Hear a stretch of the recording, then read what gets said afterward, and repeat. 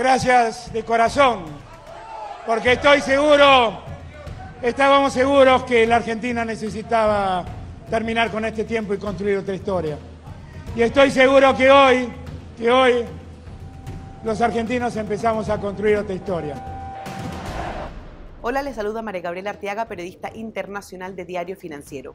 La noticia de la semana está sin duda en Argentina luego de que el candidato peronista Alberto Fernández resultara ganador de las primarias del domingo.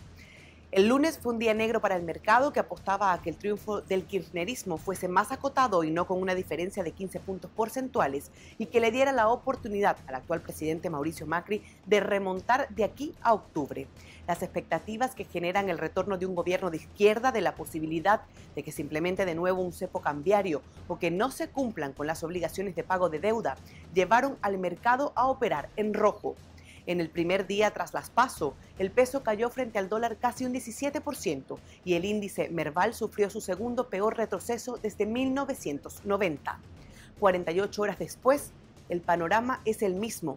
La moneda de Argentina profundizó su desplome y el riesgo país escaló para ubicarse por sobre los 1.690 puntos base.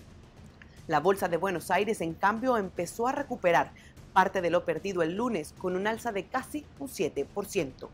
El mercado empieza a digerir mejor la noticia, pero el impacto en inflación de estas jornadas puede traducirse en más malas noticias para Macri en medio de un panorama adverso de la economía con un repunte más lento del esperado y una tasa de desocupación y de pobreza a niveles de 2015, la posibilidad de que logre restarle votos a Fernández y al tiempo sumar más respaldos para imponerse, al menos en segunda vuelta, se hace cada vez más cuesta arriba.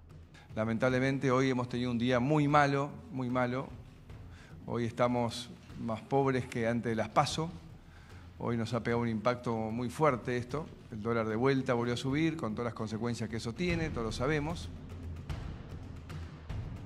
Para seguir todos los detalles del impacto económico del resultado electoral, cómo responde el mercado y el análisis que hacen los especialistas, los invitamos a consultar nuestra página web y redes sociales. Será hasta una próxima oportunidad.